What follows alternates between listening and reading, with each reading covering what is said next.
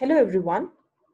Welcome to the basic session of MA Entrance Economic Examinations 2020 to 2021. Let me start by giving you a brief of what is Artha Point. So basically, Artha Point is an economics coaching institute. It is launched by DSE alumni and our main aim is to help you help all the all the economic honors students and students from other background also to crack various ma entrance economic exams especially delhi school of economics and indian statistical institute. But not only those we also focus on other institutes equally. We understand that as time is passing the level of the competition that is there is increasing. And since the level of the competition is increasing, we should be giving our best shot at the exams. We at Artha Point help students to go that extra mile and learn beyond what they have learned in their uh, undergraduation level. For example, most of the time it is observed that the kind of microeconomics, macroeconomics that is asked in DSE entrance exam is of much higher level than what is taught in the second year of uh, economic honors. So we would cover not only the basics, but also the advanced topics of these subjects.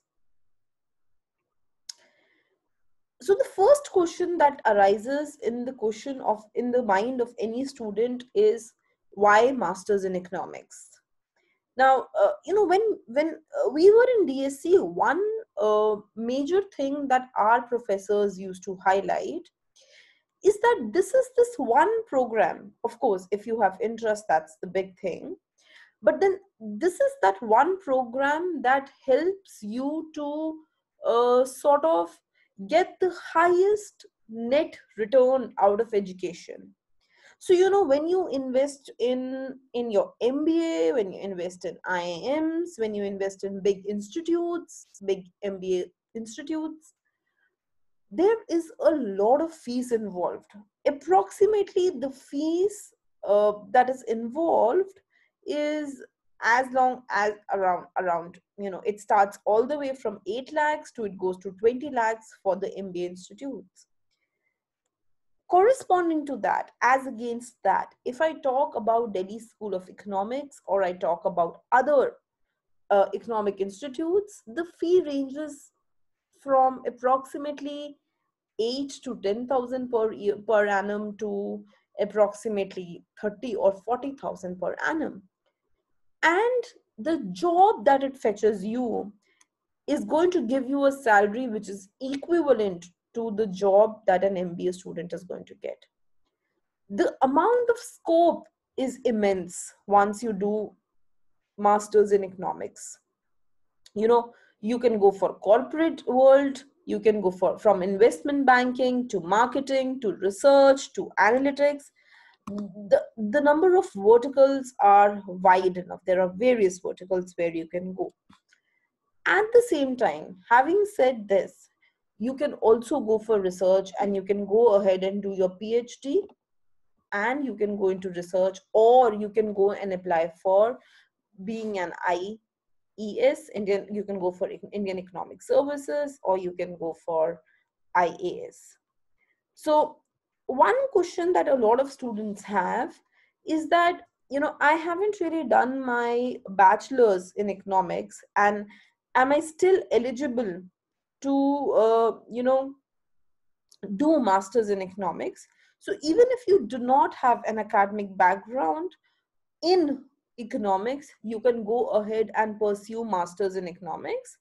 But in that case one big suggestion that i have is that you must go through, especially if you're applying for Delhi University entrance exam. But even if you're not applying for that and you're applying for other entrance exam, one suggestion that I have is to go through the curriculum nicely of what has been covered in the economic honors three year syllabus. Of course, you don't have to do all the subjects. For example, uh, you don't have to do Indian economy in detail. You don't have to do uh, ess in detail. You don't have to do uh, a lot of subjects like mfm like financial economics in detail when you're starting your entrance exam. But there are certain subjects uh, from economics honors that you should fetch even if you are not from the economic honors background. To name a few you should focus a lot on micro on macro on mathematics. You should go ahead and focus on statistics on econometrics and some part of game theory also. So uh, you know uh, some genuine information that is important is that uh, we would be having our next we would be having a trial class on 4th of july 2020 now uh, this is going to be a trial class and for along with the trial class what we're going to do is that uh, we would be sharing some basic videos of micro macro statistics and maths to give you a gist of how we teach at Artha Point uh, the class type is going to be recorded plus live sessions. We would be sharing a lot of recorded videos on all the subjects. And along with that, we would be also having live discussions. So for example, you know, a basic production function is something that would be covered in recorded lecture. But once you understand the basics of what a production function is, how to implement that and what kind of uh, questions come from those production functions and how to use isoquants would be something that would be covered in the live session. Now, uh, an online platform would be given to you and the fees would be 30,000 for the entire year and this would be inclusive of GST. Now, few features of the program are that uh, we would have approximately uh, more than 100 lectures uh, we would be covering more than 10,000 questions, which would be spread across these six main subjects. We would be doing a lot of assignments. We would be doing a lot of MCQs, a lot of quizzes. All the past years of all the universities would be covered. And not only those past years, but also mock test, which would be very similar to what, what has been asked in the past year, would be given to the students to practice. So we would have a lot of mock tests. We'll make sure that you complete them on time. We'll also make sure that you know a 3 hour paper is done by you in 3 hours. And you know time is properly managed ideally to uh, speak of the different um, groups or in the uh, in the sequence of importance uh, you have DSE and ISI at the top followed by JNU, followed by Jamia, Madras School of Economics, Gokhale, and Hyderabad University, followed by IGIDR, and followed by South Asian University, TERI Fergusson Christ, etc. Now, this is the exact way in which we would be covering our mock test and the level of importance that we would be giving to the different groups.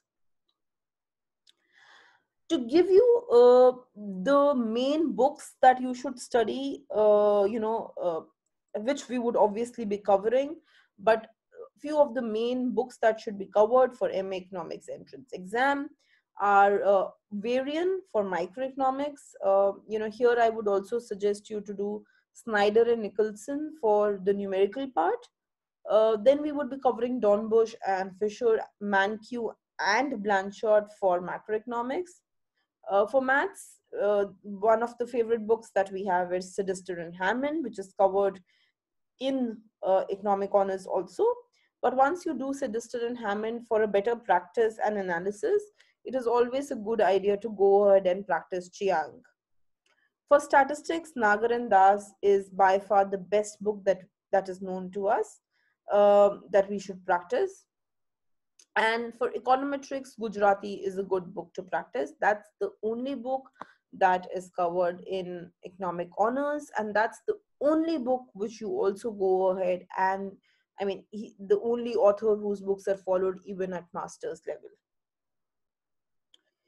Now, uh, so these are the main institutes where one should apply. You should go ahead and apply to Delhi School of Economics entrance exam, followed by ISI Kolkata, ISI Delhi, uh, followed by JNU, Gokhale, IGIDR, Madras School of Economics, Jamia, and Hyderabad University. Uh, other than that, that also, uh, you know, there are other institutes for which we would keep sending you notifications to apply, and we would be covering few mock tests for those institutes also. We would be covering a lot so as as i already mentioned we will have uh, we'll give you uh, folders which would have different topics being covered and separate folders for separate subjects all the classes that would be covered online would also be recorded and would be shared with the student in case the student misses a lecture.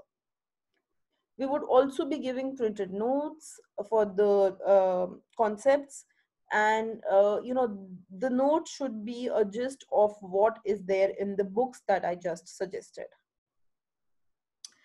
ideally the timeline that i would be following uh, would be starting in the month of july where my lecture would start.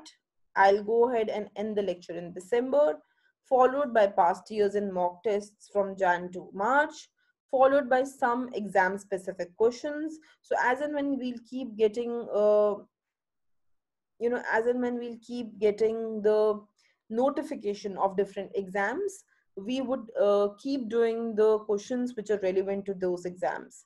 So you know the way that SAU asks question versus the way that ISI is going to ask question would be way too different and would be way too different in the level of the questions also. So you know we have to understand which kind of questions to be practiced. When for example you would see a lot of macroeconomics being asked in jnu but you won't see that much micro macroeconomics coming in the isi paper. So we have to sit and under we have to you know do the papers according to which exam is coming next. So then we understand so the last paper that usually a student ends up giving are uh, Delhi University and also Ambedkar, by the way, for which you also have an interview.